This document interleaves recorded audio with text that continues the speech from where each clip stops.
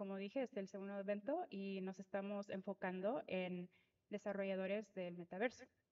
Em, acabamos de empezar este capítulo en febrero. Eh, aquí está parte del equipo, Raciel Cruz Rodríguez, también, que es como generalista, hace, hace de todo, está haciendo un live stream, hace reels, hace todo.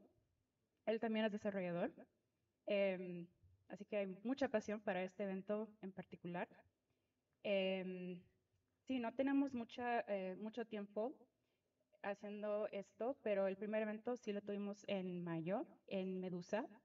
Em, y fue, yo digo que fue un éxito, de unas caras familiares. Aquí estás. Aquí está Rosel. Eh, eh, ya estoy yo. Y sí, como se dan cuenta, es un live stream, lo tenemos grabado. Eh, esta parte de Awe.live es una plataforma de la conferencia eh, principal que sí es de Estados Unidos. Em, así que cuando ustedes quieran compartir esta liga, se las podemos mandar cuando lo suban al YouTube. Pero sí, o sea, este capítulo, este Meetup es nada más para conectar a todos, formar comunidad, eh, en hablando con algunos ponentes que tenemos hoy, eh, estoy oyendo y yo, para mí también personalmente eh, me falta em, comunicarme y conectar con otras personas que están trabajando en este espacio. Em, así que es, es un meetup casual, pero también profesional. Dani, que no, está, no la veo Dani, pero Dani está ayudándonos con todas nuestras redes principalmente el Instagram, que está súper genial. Ahí está. Ah, hola, Dani. Em, está haciendo unos reels súper buenos. También les traigo eh, Raciel. Em, pero si nos quiere seguir, es All Night Mexico City. Y vamos a estar posteando todo tipo de cosas de, de, este evento. También, si vemos algo de la comunidad, lo vamos a estar compartiendo. Y, pues sí, eh, en corto es desarrollando del metaverso. Y eh, antes de empezar con unas charlas que tenemos de Estefanía, Alberto y Jair, eh, unas cosas, sanitarios están de este lado al fondo. Si les dan sed, quieren comprar unas bebidas, unas papitas, aquí tenemos la cafetería abierta. Y em, vamos a hacer unas presentaciones, unas charlas de como 15 minutos, dar tiempo de una o dos preguntas y hacerlos como todos los tres en punto. Terminamos a las 7 y luego nos vamos a ir al, nos vamos a reenfocar hacia atrás, donde tenemos unas unos demos, demostraciones em, de Estefanía, de Alberto, Yair no, porque tuvimos un problema del internet, pero ay, qué malo, porque sí se veía muy chido el proyecto. Eh, yo también traje el Magic Leap 2 headset, eh, así que les puedo mostrar lo que estamos trabajando. Sí, de hecho yo también trabajo en XR, soy eh, diseñadora de productos del sistema operativo, em, así que les puedo dar un demo también. Bueno, Estefanía, ¿estás lista? ¿Sí? Ok.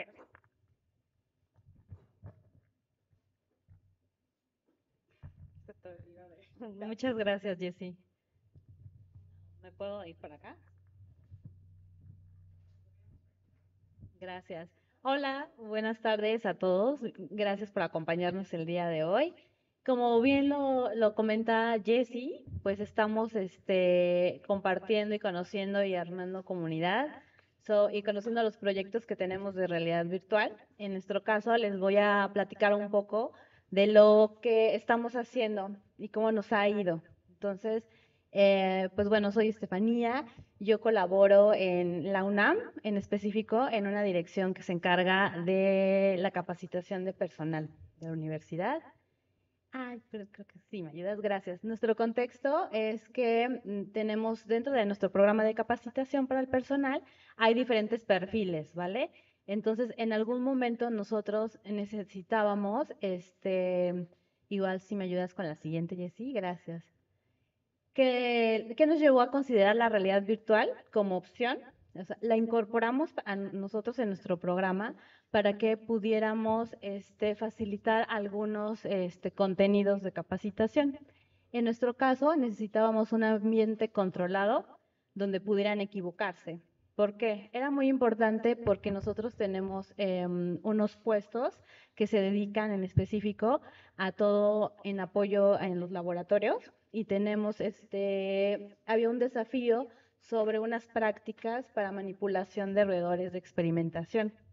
Entonces, por un lado, necesitábamos un ambiente donde se pudieran cometer errores y que estas personas que se están preparando para trabajar en esos laboratorios pudieran tener el paso a paso, equivocarse sin que hubiera algún, este, una consecuencia en el mundo físico. Entonces, eh, son procedimientos, les decía, de, para manipulación de roedores, evitábamos riesgos, sobre todo con la gente cuando se está preparando, obviamente tiene nerviosismo, no sabe cómo interactuar con ese entorno, entonces por eso necesitábamos eh, un ambiente virtual donde pudieran este, hacer estas prácticas.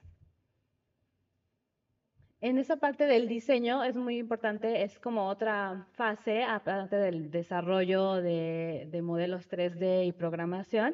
Para nosotros era muy importante tener definido qué, por qué vamos a, qué de nuestro contenido de capacitación se iba a realidad virtual y por qué. Eso era como clave porque tú cuando vas con el equipo de desarrolladores ya debes de tener bien identificado la necesidad, ¿no? Entonces, muchas veces por ahí vemos muchas, y es una maravilla actual de, las tecnologías y de las opciones, pero hay que también que ubicar bien qué, cuáles son tus usuarios, cuáles son las necesidades que tienes. Y en nuestro caso en específico necesitábamos una solución como nosotros tenemos un centro donde se capacita el personal, son salones para sesiones este, teóricas y la parte práctica necesitábamos también que 14 personas estuvieran sentadas haciendo la práctica. Entonces, teniendo esa consideración, eh, optamos por, y, la asesoría del equipo técnico, por los visores de realidad virtual para que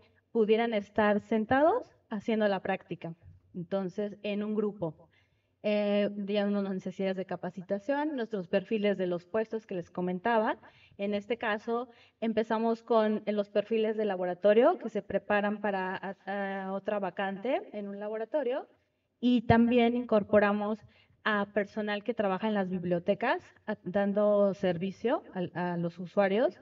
Necesitábamos crear también un ambiente donde ellos pudieran em, prepararse, anticipar situaciones, las más frecuentes en el servicio, poder equivocarse de manera virtual y ahí retroalimentarlo de manera directa para antes de que llegue a ese puesto. Esas fueron nuestras necesidades de, capacitación. ¿Y cómo fue que lo logramos implementar? Les cuento que nosotros tenemos, em, con el equipo se desarrollaron ocho aplicaciones de realidad virtual que se integran en nuestros diferentes contenidos de cursos a estos perfiles y primero hicimos un diagnóstico para ubicar cuál era el perfil de nuestros instructores, que son nuestros, las personas que les están enseñando los contenidos, eh, qué tipo de, el perfil de nuestros participantes. Y sí veíamos, porque nuestros usuarios de, de personal son de, de 35 a 55 años. Entonces, por ahí veíamos que había una asociación mm, un poco negativa, así que veían un visor y lo asociaban a videojuegos. Entonces ya no es a lo mejor un, un, contenido formal, ¿no? ¿Cómo voy a aprender yo con un videojuego? ¿O cómo me voy a poner yo? Eh, las mujeres, sobre todo mayores, era, yo a estas edades ya no estoy para usar un videojuego, ¿no? Entonces eso fue muy interesante porque mm, pudimos em, como que romper esa brecha y acercar y decir, eh, no, pues claro que no, o sea, todos podemos utilizar un visor de realidad virtual, este, hay contenidos diversos y, todo ubicando el perfil que necesitábamos, ¿no? Entonces, sobre todo se involucró el equipo interdisciplinario en el desarrollo, que eso fue también clave, de que nos ha ido también bien, que se involucró al grupo de instructores para decir cómo es, qué, qué opinas tú del contenido, qué, cuáles son los puntos clave donde nos equivocamos más y necesitamos reforzar.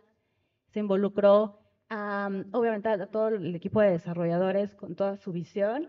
Entonces se integró un muy buen equipo para ellos nos desarrollaron a la medida. Fue de cero. Y pues bueno, y ya cuando teníamos las apps para integrarlos en el programa, hicimos un programa de sensibilización al cambio. Justo dentro de los grupos eh, que les cuento, como estas eh, resistencias que puede haber, de si, lo podré acabar, si podré hacer la práctica, como ese reforzamiento positivo y siempre este, que es un espacio para equivocarse y pues de eso va, ¿no? Entonces, este, y de experimentar y divertirse. Esa esta es nuestra implementación. Y bueno, nosotros en los resultados empezamos en el 2018, ya saben, hicimos un corte ahí con la pandemia, pero ya llevamos 2.000 practicantes, entonces este, ha sido muy bueno porque casi 300 prácticas en realidad virtual de diferentes, de estos contenidos que les cuento, con 14 visores, entonces ha sido un muy buen retorno de inversión. Y, y bueno, obviamente nos ha facilitado eh, para ellos situaciones, la comprensión de situaciones complejas, lo que les cuento de todo el mundo del, del bioterio, del servicio, se disminuyó la curva de aprendizaje para nosotros, se han optimizado recursos y sobre todo se ha fortalecido el sentido de identidad UNAM, porque al, integrar estas nuevas tecnologías en nuestros cursos, eh, pues es claro decir, ah, yo lo veía por fuera en un videojuego, pero ahora ya lo estoy usando acá para aprender, ¿no? Entonces ha estado muy, muy interesante, nos ha ido muy bien y bueno, por ahí quería compartirles también esta, esta experiencia, ¿no? Más allá de que ya lo probarán ahorita, eh, que de los desarrollos que están muy, muy, ¿qué les puedo decir? Tengo sesgo, están muy interesantes y muy divertidos, pero este, esos son los resultados que hemos tenido. Y creo ya por último, igual los que no están por acá, puedan ver un poquito de las escenas de, de algunos de los simuladores que tenemos de bioterio, de del, del servicio. Em, esos son. Eh, pues los invito a que lo conozcan al finalizar las, las charlas. Y les dejo también mis redes por si necesitan, por si quieren eh, alguna duda o checar algún un tema de realidad virtual. Ahí están mis redes. Eh, pues muchas gracias por la invitación, Jessie. Muchas gracias, Stefania. Es un gusto tenerte aquí también tener alguien con quien podemos conversar, a ver cómo hacer un proyecto, o sea, de cero hasta dos mil personas que han, que, perdón, pero bueno, gracias por em, darnos una excelente charla. ¿Algunas preguntas para Estefanía o comentarios? Sí.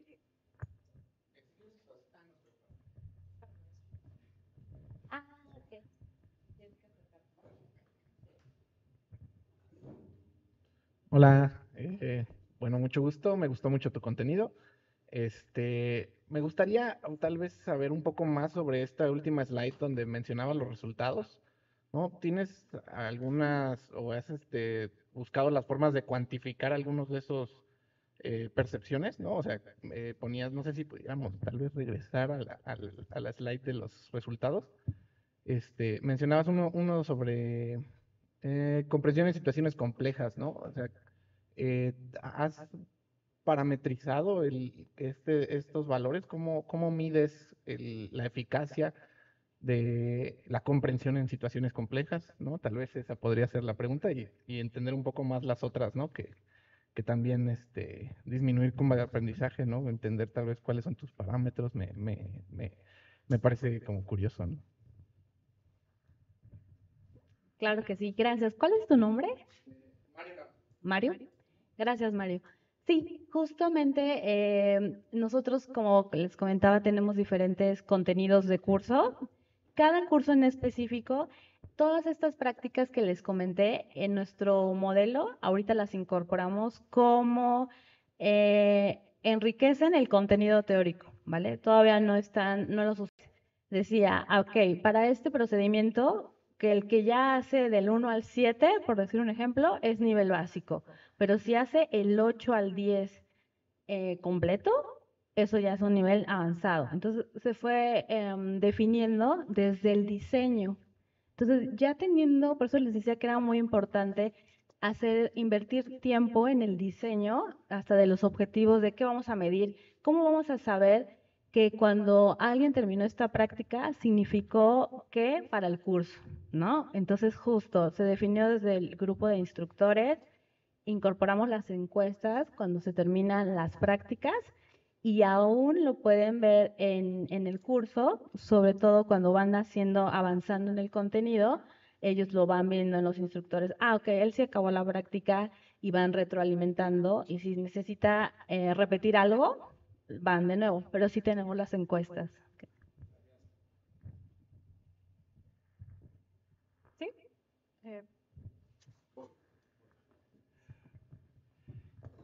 Gracias. Yo ya tuve la suerte de probar uno de los demos y me gustó mucho el del bioterio, porque lo que estuvimos, lo que estuvimos platicando contigo es que a las personas, por la edad que vi que estás capacitando, primero hay barreras de uso de los aplicativos y hay uso de los dispositivos también, ¿no? Es- Eso está bien, romper con el, las barreras mentales, las barreras a veces de generacionales de uso de dispositivos de capacitación.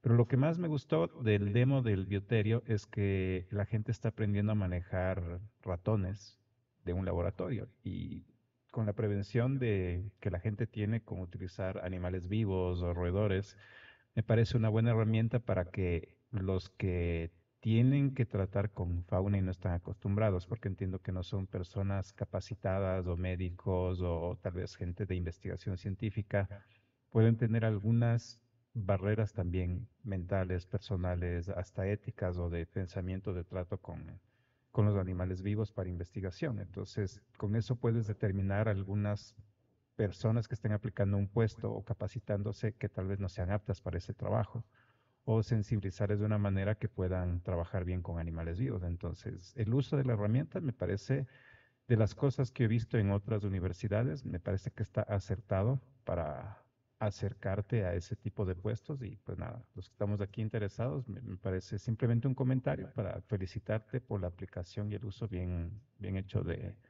de ese elemento de capacitación.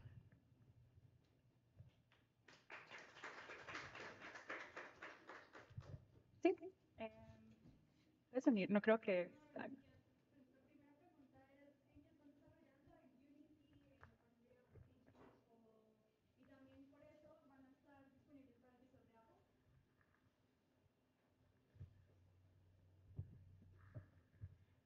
Gracias.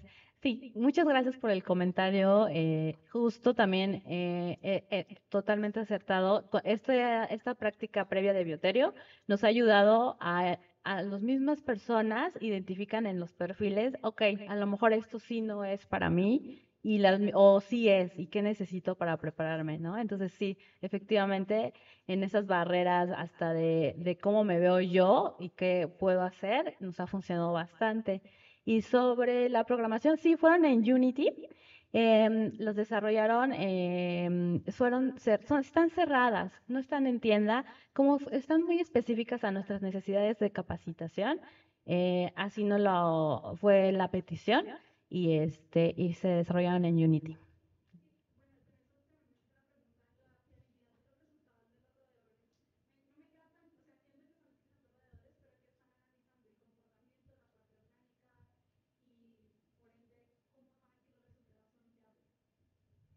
Ok, eh, nosotros tenemos, eh, se preparan a los trabajadores que están, van a entrar a un bioterio. Entonces, estos contenidos se integran para las personas. Hay unas funciones de, ah, ok, las personas que van a este bioterio tienen que saber, por ejemplo, eh, sexado, armar camadas y hacer un procedimiento de manipulación y de limpieza. Entonces, desde el objetivo que tenemos de capacitación, de ahí se integraron las prácticas, pero son justo para mm, perfiles ya muy específicos que necesitamos nosotros preparar. Gracias a todos. Muchas gracias, Estefanía. Bueno, estamos eh, muy bien en tiempo. Eh, próximo tenemos a Alberto.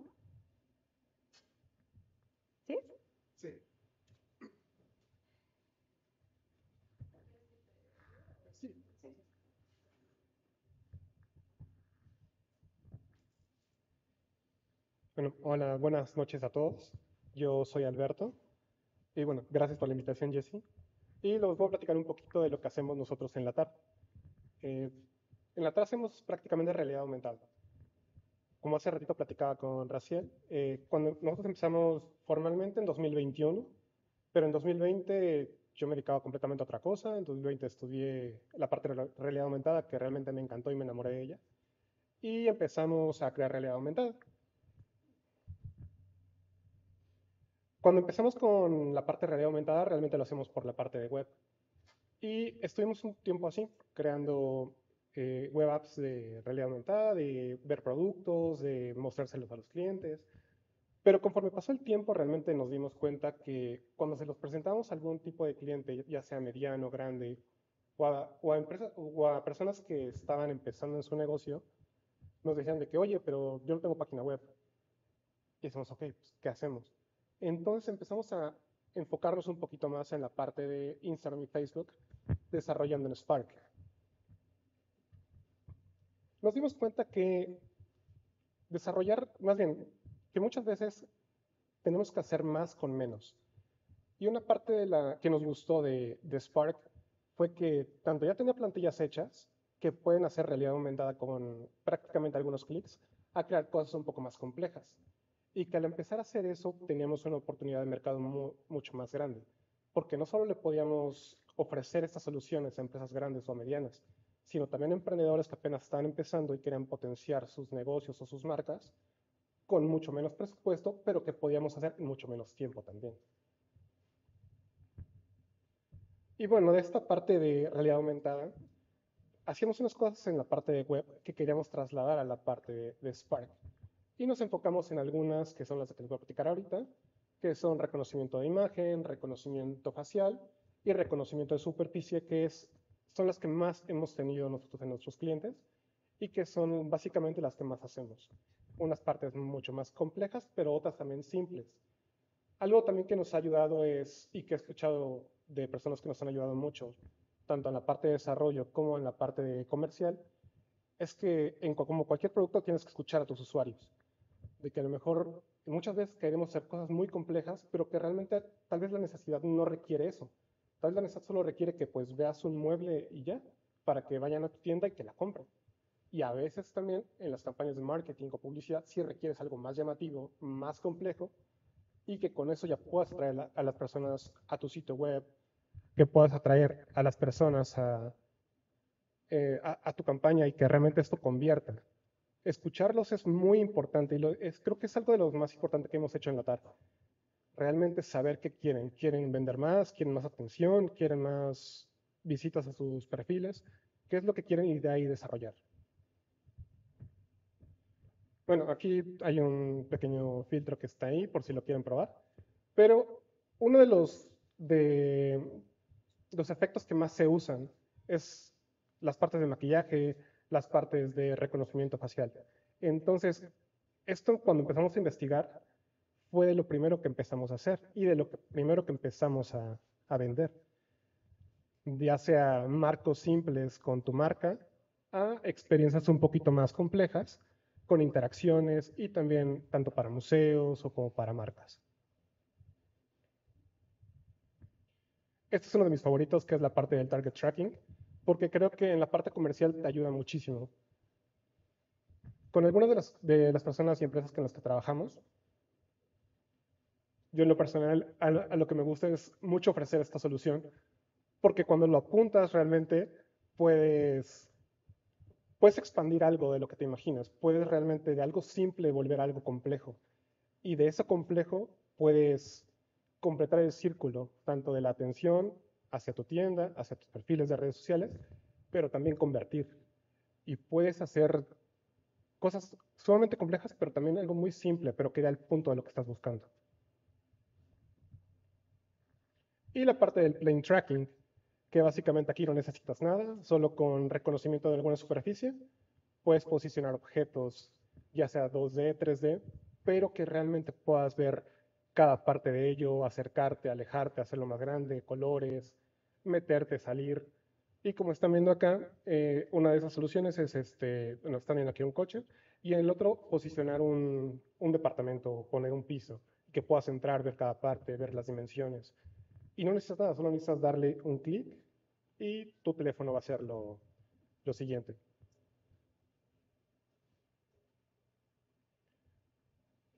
Una de las cosas que también, una de las cosas que también estábamos eh, pensando en algún punto es que en la parte de reconocimiento de, un target tracking te puede dar más con menos. Entonces empezamos a pensar, ok, no solo que, que pasen cosas, no solo que aparezca alguna algún, algún objeto, pero que también puedas contar historias, puedas mostrar diferentes modelos o diferentes explicaciones con tal vez solo una imagen. Y empezamos a ofrecer también eso a nuestros usuarios y también lo implementamos en la TAR. De hecho, en esta imagen que está en nuestra página web, en la, sección de escritorio, si escanean ese QR y apuntan a esta imagen, van a ver algunos de los distintos usos que tenemos, desde artes y museos, que ahorita estamos tratando de entrar en algunos. En unos museos en Puebla ya tenemos algunas cosas. Eh, la parte de e-commerce, también van a poder ver alguna sección que está como aquí en medio. Y de la parte derecha con experiencias un poco más vivas, como para parte de campañas o contar lo que les contaba, lo que decía de la parte de historias, eh, mandar mensajes, que también para eso sirve la parte de realidad aumentada.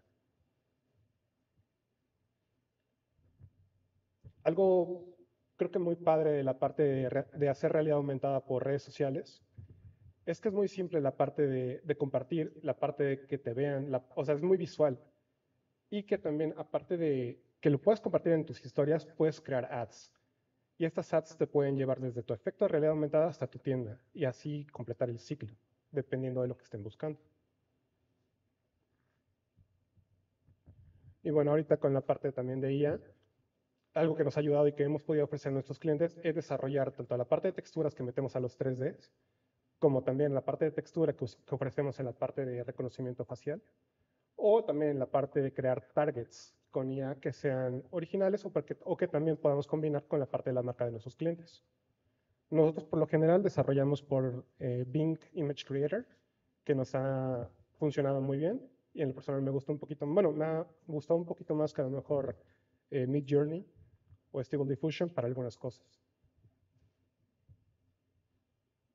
Y bueno, algo que creo que cuando platico con la gente es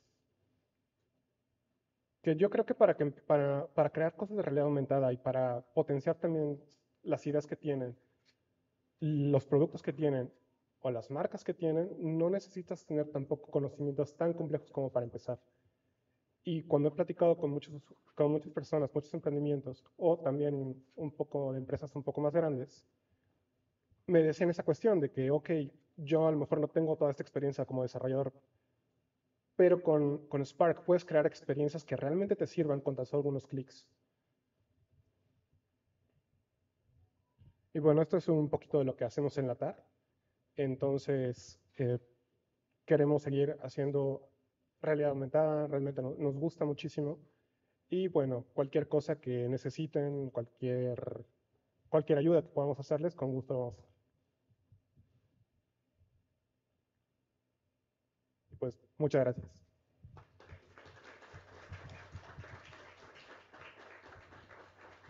Muchas gracias, Alberto. Wow, tienen un portfolio súper diverso y pues todo es muy fascinante. Em, tengo preguntas, pero lo, te pregunto, ¿qué, ¿qué, nos puedes mostrar de tu demostración hoy? Ah, ah, bueno, ahorita tenemos unos demos que están, eh, unas piezas como arqueológicas, que son la parte de museos, algo con el reconocimiento de imagen y también con reconocimiento de superficies, para ver unos coches de Fórmula 1. Solo de Fórmula 1, ok. eh, ¿Algunas preguntas o comentarios? De... ¿Alguien?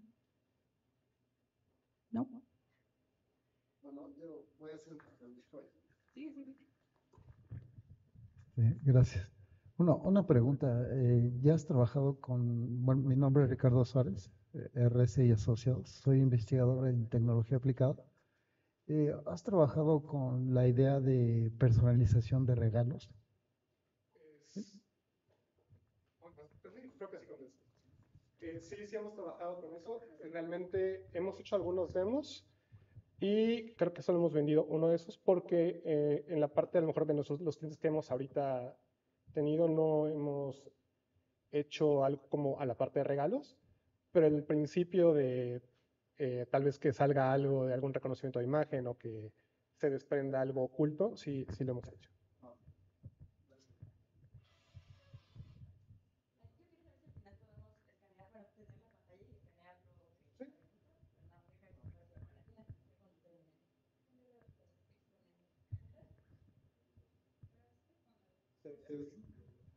De todos modos, este, si quieren allá atrás, este, cuando pasen, se lo pueden escanear y un poquito más fácil.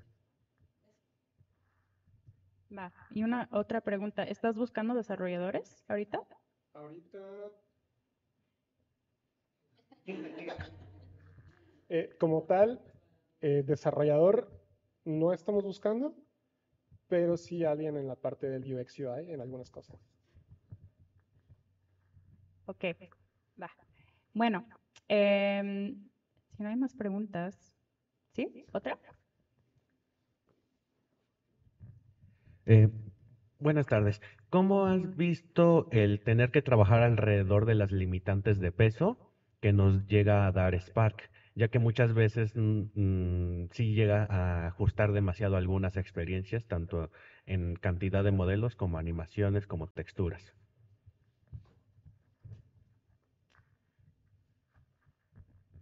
Sí, como dices, o sea, la parte de- del peso sí está, está cañón porque son cuatro, meter todo en, en 4 megabytes. Entonces, lo que hacemos nosotros es optimizar desde el 3D, usar desde que sea realmente lo más, más, más ligero posible. Las texturas también las comprimimos a todo lo que podemos usando. La parte de Spark tiene, un, tiene una parte que también de, de compresión, que es muy buena, pero hacemos como el doble, de que primero lo comprimimos nosotros, después usamos la parte de Spark. Y algo que creo que nos ha gustado mucho, o la parte que siempre buscamos, es siempre decirle al cliente las limitaciones de Spark, pero también jugar con la parte del storytelling, porque como dices, es muy poco, pero se puede complementar con muchas más cosas. Se puede com- complementar con la parte de la historia, se pueden complementar con la parte de a lo mejor meter todo a través de un 3D y a lo demás complementarlo con imágenes 2D que te puedan dar lo mismo o profundidad con shaders eh, la parte de las oclusiones, los portales, que te puedan a lo mejor dar lo mismo que un 3D, pero con mucho menos peso.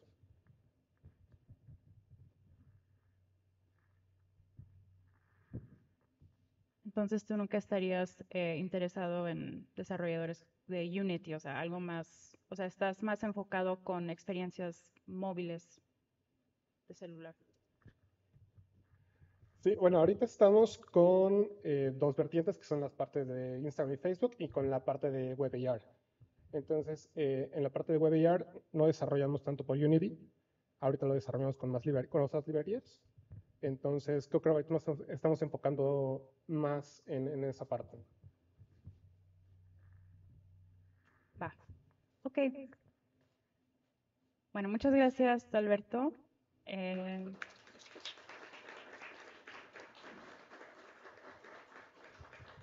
ok, a ver si podemos probar tus demos. Em, ahora tenemos a Yair. Déjame.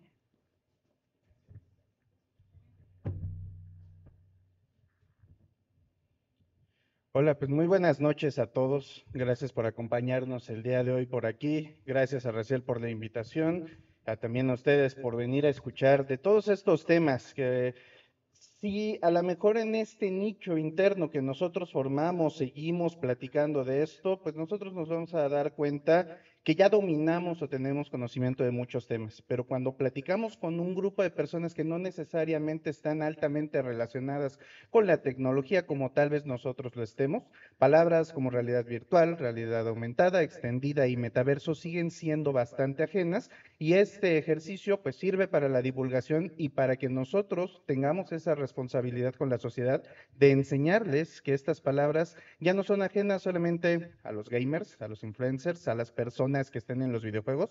Hoy día ya todos podemos ser agentes del metaverso.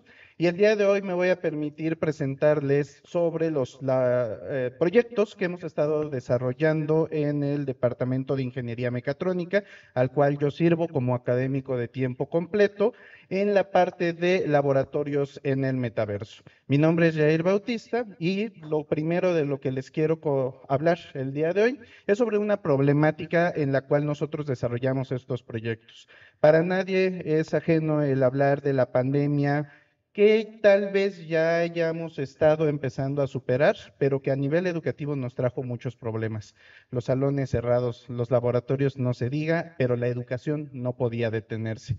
Nosotros en la Facultad de Ingeniería y relacionándonos también con nuestros aliados en Facultad de Química, tuvimos muchos espacios que empezaron a empolvarse porque nuestros estudiantes ya no los podían usar para la parte de su aprendizaje. Algo teníamos que empezar a hacer porque el conocimiento práctico, al menos en las materias de ingeniería, es una pieza fundamental en la formación de nuestros recursos humanos profesionales.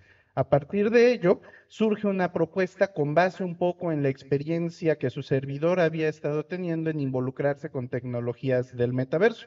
Las imágenes que están por aquí, tal vez a algunos les parezcan familiares, del hoy ya extinto Altspace, que fue la plataforma de metaverso que propuso Microsoft, o que bueno, compró como subempresa Microsoft en algún momento.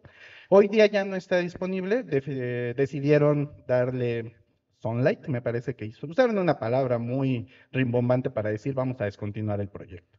El caso es que estas imágenes que les estoy mostrando fue cuando esta fue la clase día 1 posterior al inicio de la pandemia en la que mis alumnos ya estaban tomando una sesión teórica dentro de la plataforma.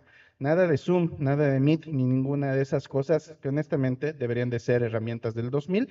Mis alumnos estaban tomando clases en el metaverso con sus avatares, con sus representaciones. Se veía quién se estaba quedando ya dormido también y también se veía quién ya estaba poniendo atención o se iba a molestar a sus compañeros al pasarles de frente.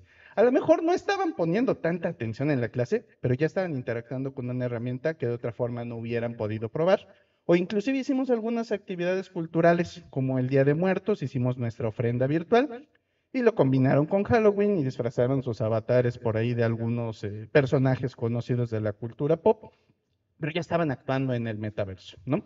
Entonces, gracias a este acercamiento con estas tecnologías, por favor la siguiente, empezamos nosotros a desarrollar una metodología. Y si hacemos laboratorios en el metaverso, ¿Qué laboratorios serían susceptibles que no sean tan complejos? Hay muchas cosas que todavía no podemos representar en la realidad virtual. ¿Qué laboratorios valdría la pena poder empezar a migrar a esta tecnología? ¿En cuál de los por qué, si ustedes han trabajado un poco con esto, sabrán que el metaverso se dice que hay uno, hay un montón.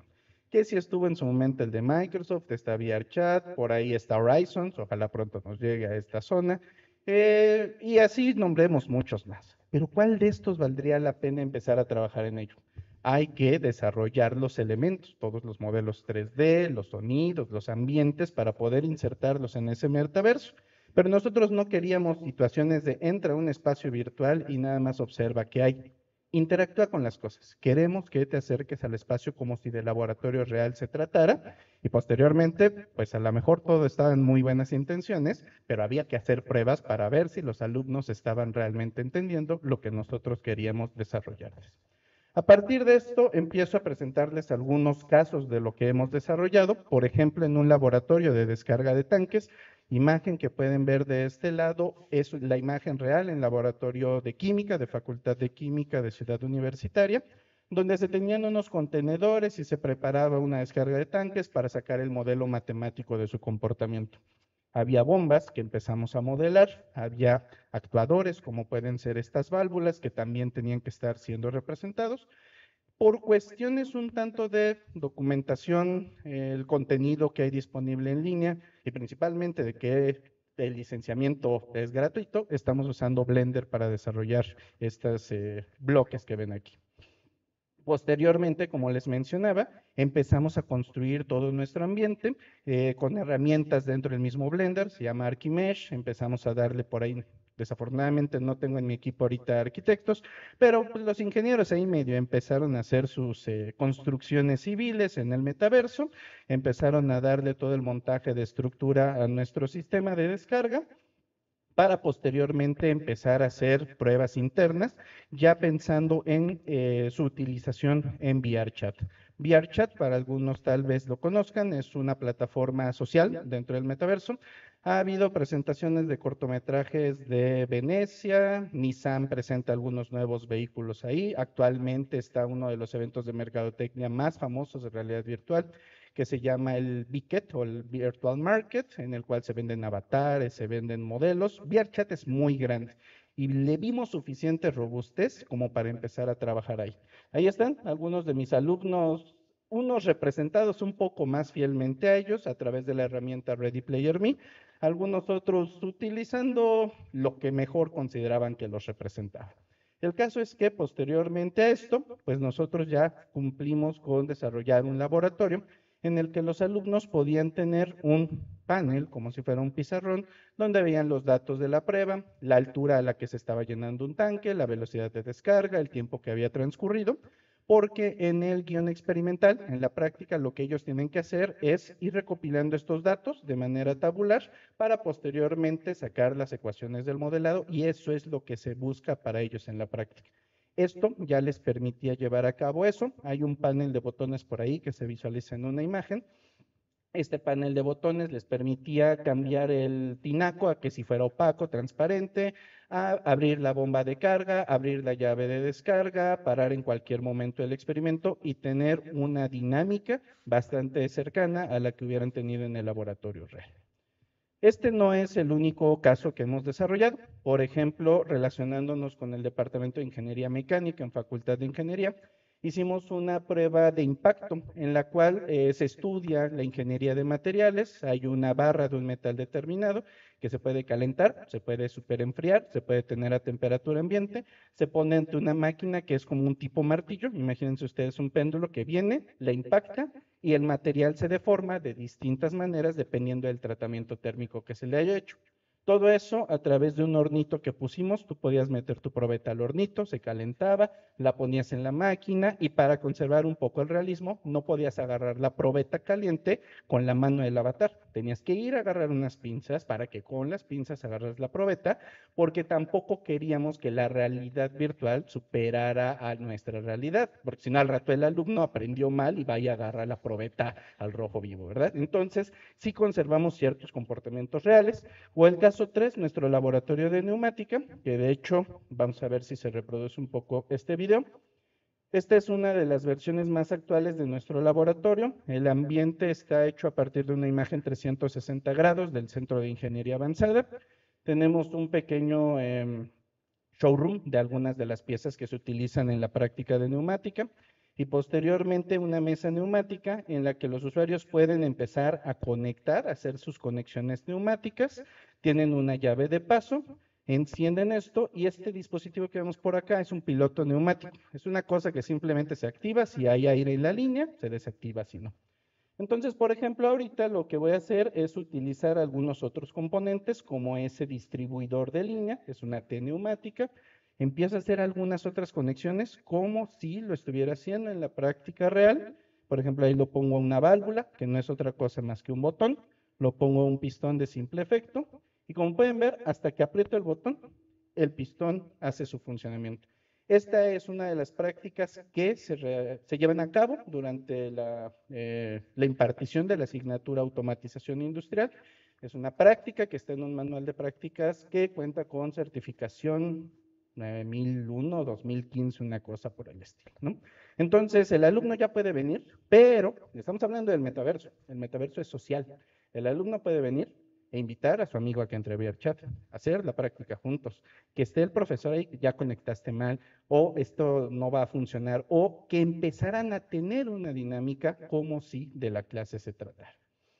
Entonces, tenemos más casos ahorita para no entretenernos más en este, hicimos una caldera, un cuarto de caldera, en donde la intención es explicar la normativa referente al uso de colores para tuberías, la altura a la que está un extintor, algunos otros elementos de cómo debe de, respetarse ciertas eh, métricas dentro de un cuarto de caldera.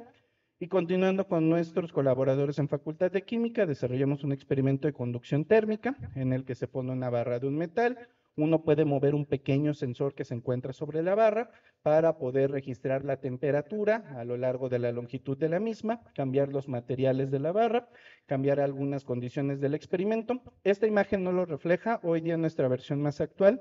De hecho, también tiene un pizarrón al lado del central en el que se va generando una gráfica y el usuario puede ir poniendo puntos de esta para generar una curva del eh, comportamiento de la conducción térmica de este material. VRChat internamente tiene una herramienta de cámara, entonces el alumno puede ir, puede tomarse su selfie con el experimento que acaba de hacer allá atrás y con esto igual hacer el reporte de sus pruebas. Entonces, eh, pues hablando de las pruebas, justamente, ya hemos realizado varias pruebas Todavía no lo tenemos implementado como tal en, dentro del programa educativo, habría que hacer unos cambios bastante significativos, pero ya nos hemos acercado con grupos pilotos de estudiantes en el momento en el que deben de llevar a cabo un conocimiento y esto ya lo estamos haciendo con visores de realidad virtual, porque pruebas iniciales de esto, nuestro testing inicial, fue pidiéndole a las personas que se conectan a VRChat desde su PC. Esto nos da a nosotros la capacidad de poder tener algo multiplataforma. No tienes visores, no te preocupes, conéctate desde tu computadora. Tal vez si ustedes no, eh, no lo han leído, en las notas de desarrollador más actuales de VRChat se, se habla, se tiene una perspectiva de que a final de años ya tengamos una versión para celulares. Vas a poder entrar con tu celular también. Pero pues si estás en el laboratorio, en nuestro lugar de trabajo, tenemos bastantes visores como para poner a un grupo completo ahí a que esté trabajando, ¿no? En estas pruebas, por ahí hace rato, tal vez adelantándome alguna pregunta, hablaban sobre las métricas que hemos hecho para determinar si esto está funcionando.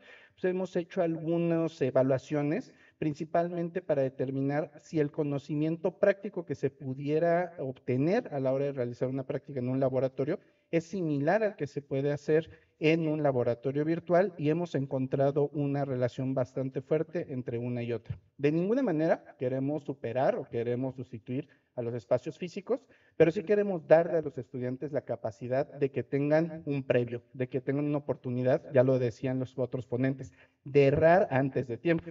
Me conviene más que erres en un mundo de VR chat en el que de repente reinicias y se acabó, a que me eches a perder un equipo de unos cuantos miles de pesos en el laboratorio, que va a ser bastante difícil estar dándole el mantenimiento, ¿no? Entonces eso lo hemos logrado en estos espacios.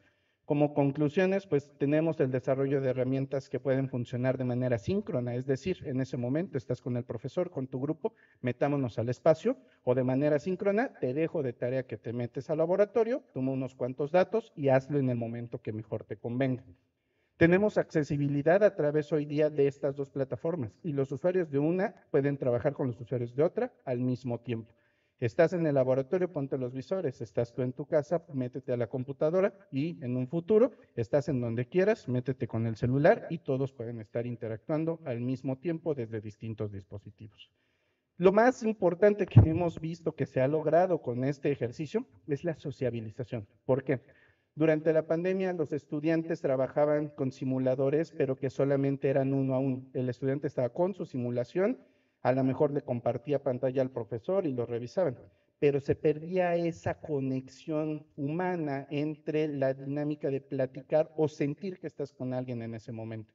La sociabilización que hemos obtenido con esta herramienta es bastante similar a la que corresponde a un espacio físico o a un espacio presencial. Bien, pues eh, si me permiten, solamente quiero presentar un poco unos agradecimientos que hoy día se quedan cortos, aparte del equipo de trabajo académicos y estudiantes que nos han permitido desarrollar estas herramientas. Y finalmente, quiero también dejarles mis datos de contacto, otro tributo a la difunta ya eh, plataforma de Microsoft. Este era mi avatar en Altspace, este es mi avatar en la vida real. Y pues con todo gusto, eh, desafortunadamente ahorita por la parte de conectividad, VRChat, y ya habíamos tenido ese problema en una prueba también en la universidad. Si un puerto de la conexión donde estemos haciendo esto eh, no está habilitado para cierto tipo de conexiones, no nos deja entrar a VRChat, ¿no? Entonces, ¿por qué? Porque se considera un juego y porque a lo mejor hay lugares donde pues, no te dejan que estés jugando, ¿no?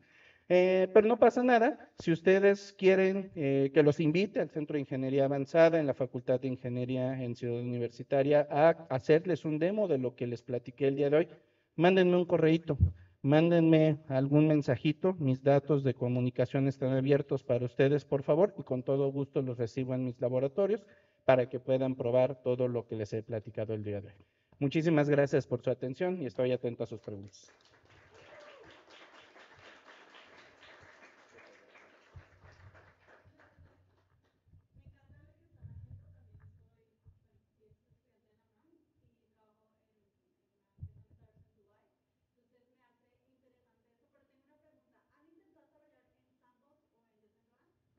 Queríamos entrar a Decentraland cuando estuvimos viendo las plataformas del metaverso. Tal vez lo que no terminó de encantarnos, eh, y puede ser un poco una, este, un sesgo, el que queríamos entrarle ya a algo con los visores. Y al menos hasta donde quedó nuestra investigación, Decentraland es solo web y no tiene esa salida como de web XR para con los visores, ¿no? Eh, igual también puede ser un poco este sesgo de que vimos que en VRChat había una enorme y no, no tengo los números para compararlo con Decentraland, pero sí era bastante significativa la comunidad que había en VRChat y queríamos que estos espacios inclusive no solamente se nos queden internamente. Hoy día varios de estos mundos nos hace falta difusión, pero ya están públicos. Entonces, si alguien de cualquier lugar del mundo quisiera entrar a este laboratorio y ponerse a practicar neumática, lo podría hacer. O ponerse a practicar la práctica de conducción, lo podría hacer. Quiero compartirte un poco esta idea fantasiosa que teníamos dentro del origen del proyecto. Si alguno seguramente ha leído la obra de Ernest Klein, Ready Player One, que es una estándar de lo que es el metaverso y la realidad virtual, hay un mundo dentro de ese metaverso que es el mundo educativo. Y que de todas las cosas que te cobraban en ese metaverso, el mundo educativo era gratuito. Y tú podías ir y tomar clases en cualquier momento y formarte. Para mí la educación debe de llegar a ese nivel con todas estas tecnologías que estamos desarrollando.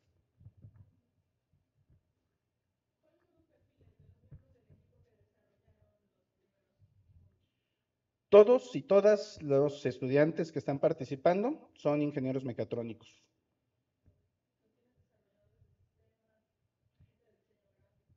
A ese grado de especialidad, no. Los ingenieros mecatrónicos que principalmente han estado involucrados trabajando con nosotros en la parte de desarrollo, tienen un gusto o una afinidad en particular por las áreas de programación. Entonces es por eso que se han metido muy, muy fuerte. Programar para VRChat, si alguien ha tenido la experiencia, no es tan sencillo porque utiliza su propio estándar de programación. A diferencia de decir voy a programar en Unity y es con C Sharp o con Bolt, sus cajitas, para VRChat se utiliza Udon.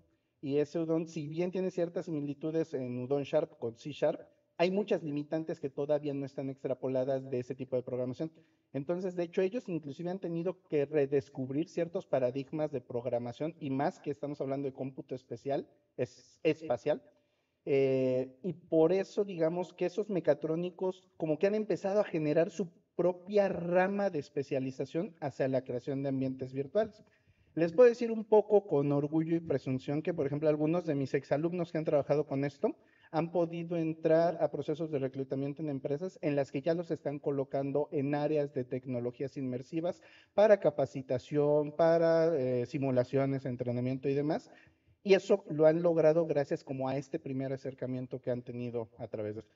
Eso sí, yo me encantaría, tengo planes de acercarme, por ejemplo, con la Facultad de Artes y Diseño para toda la parte de eh, estética, visualmente hablando. Nuestros espacios son horribles, discúlpenos, los hicimos ingenieros. Eh, nuestros colaboradores de Facultad de Química, ellos han sido más como consultores en la parte de saber si estamos emulando realmente bien un proceso químico lo mismo en la parte de ingeniería de materiales, pero solamente mecatrónicos han estado ahorita trabajando fuertemente en esto.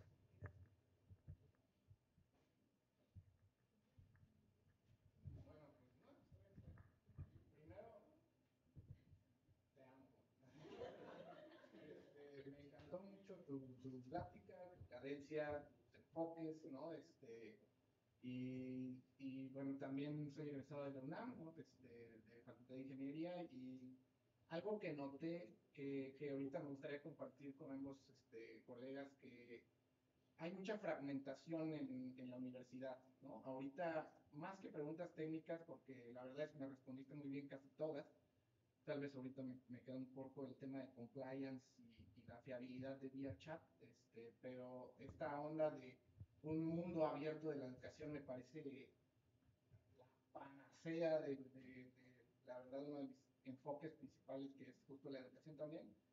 Eh, tengo la fortuna de trabajar con experiencias y después instituciones educativas en este tipo también de, de, de rubros. Y, y, yo creo que ahorita con lo que han demostrado, la UNAM pues muestra que tiene las, las herramientas ¿no? para, poder lograr este tipo de objetivos tan gigantes y, y el problema que veo es justo la fragmentación, ¿no? Es como, por ejemplo, no, yo tendré unos seis años que egresé, o sea, no sé cuánto tiempo llevo dando clases, pero me pregunto cómo no nos encontramos, ¿no? Es este, estuve en el CIA también generando experiencias para, para previsualización y capacitación, eh, con geología, un poco con medicina, pero todos estaban en sus propios mundos de, de, ciencia, ¿no? En, en, psicología, ¿no? Este, también con, con, el HTC Vive y, y todo, ¿no? o si todos estuvieran como en suficiente contacto, ¿no? De decir, oye, eh, ayúdame con esta parte, ¿no? En, en SODMI, que por aquí unos, unos de mis colegas también estuvimos en ingeniería y en la Sociedad de Desarrollo de Videojuegos, pues justo buscábamos como conectar con estas otras áreas y terminábamos teniendo que hacer muchas cosas los ingenieros, este, porque no lográbamos, ¿no? Como, como, como conectar, pero ahora que, veo este, este tipo de reuniones, ¿no? Que suceden cada vez más, eh, ¿por qué no justo romper el cascarón de nuestros propios ecosistemas y, ya tener este apoyo de, la FAD en, en, el tema de arte, ¿no? O, o simplemente de otros ingenieros para crear otro tipo de, experiencias, ¿no? Tal vez no tan focalizadas, diversificar un poco con, con cosas de medicina, con cosas de, química, de, biología, de, entonces, más que eh, ahorita, perdón por, por, mi choro, pero, pero justo tal vez aterrizando mi pregunta sería, eh, eh, ¿cuál ha sido la limitante que han encontrado ustedes para no romper ese cascarón y, y, conectar con estas otras áreas para crear pues, todo este cúmulo de experiencias, ¿no? Este, eh, que, que, que pues, creo que, que, tenemos el potencial de mostrar. Y ya para no prolongarme tanto, la segunda pregunta sería la, el tema de la, de la compliance y todo esto. Digo, me respondiste mucho diciendo quiero que esto esté abierto para el mundo, pero pues me imagino que, y, me imagino, la verdad no, no seguí mucho la línea de, este, de docencia y esto, pero en algún punto tendría que haber una, como una especie de retorno de inversión para la UNAM, ¿no? Como para decir, bueno, voy a financiar este desarrollo con estos investigadores para que creen este contenido. Digo, no, los, muy con eso. Entonces, esas serían mis dos grandes preguntas. Sí, vamos respondiendo a la primera. Llevo en agosto de este año, cumplo ya 14 años en la universidad y aún así hay bastantes personas que desconozco, ¿no? Entre ellos, por ejemplo, acá la primera expositora, ni idea de lo que estaban trabajando. Hoy día ya estamos en comunicación, en psicología había visto que pasó, eh, que tenían un laboratorio orientado a esto, pero ¿sabes? Que hay dos cosas. La primera, a lo mejor te suena pretexto, la pandemia vino a parar muchas cosas, ¿no? Era difícil a lo mejor empezar a visitar los espacios universitarios en donde se estaban haciendo estos trabajos y eso paró mucho las labores de vinculación dentro de la universidad. Hoy día los estamos recuperando. Pero la segunda es que la universidad es muy grande y en esa magnitud que tiene, pues justamente muchas veces, y también es grande no solo en espacio, sino en lo que hace. Hay veces en las que yo el tiempo que tengo a lo mejor ya lo estoy designando a ciertas funciones académicas y no me puedo todavía permitir destinar tiempo a acercarme a algunos otros espacios con los que me gustaría. Los tengo identificados, espero que con el nuevo regreso, actividades, la nueva digitalización de labores y un montón de cosas que van a, que van a venir a cambiar las formas de trabajo en todas las industrias, incluyendo la educativa, podamos empezar a quitar esas fracturas y a tener más acercamientos. No es un compromiso que a nivel personal tengo, a nivel profesional también voy a seguir promoviendo su resolución, entonces trabajo en desarrollo, ¿no?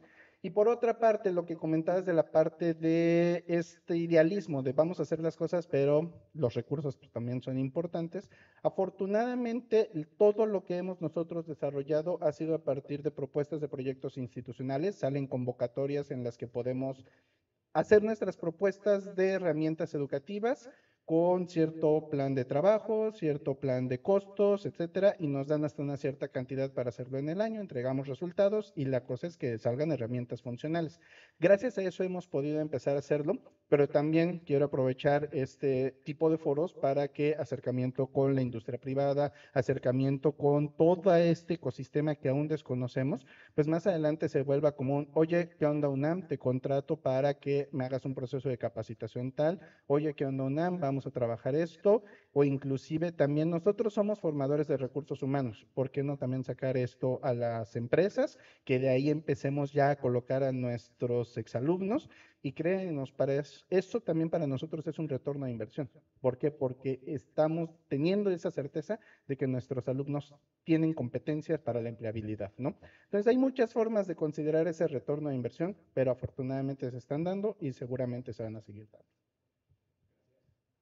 Pues bien, muchísimas gracias. Gracias a todos.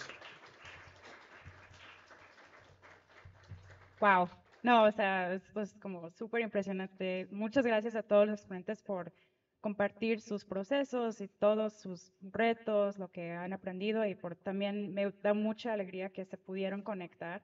Eh, no sé dónde tenemos que empezar para, o sea, hacer más colaboraciones, pero yo ya tengo ideas y, o sea, todo lo que estabas diciendo. ¿Cómo te llamas? Eh, Perdón, Mario. Ok.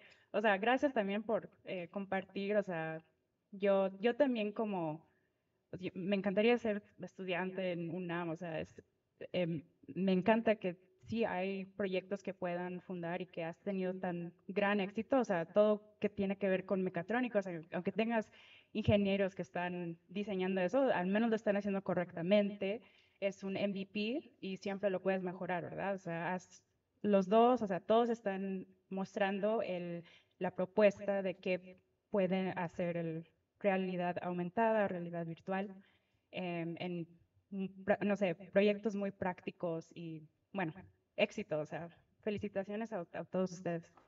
Em, ok, bueno, ya estamos a la hora. Gracias, ya, ya terminamos el live stream. Ya, ok. es que se corta la Em, eh, otra vez aquí estamos, en- síguenos en, en Instagram, eh, queremos hacer más eventos.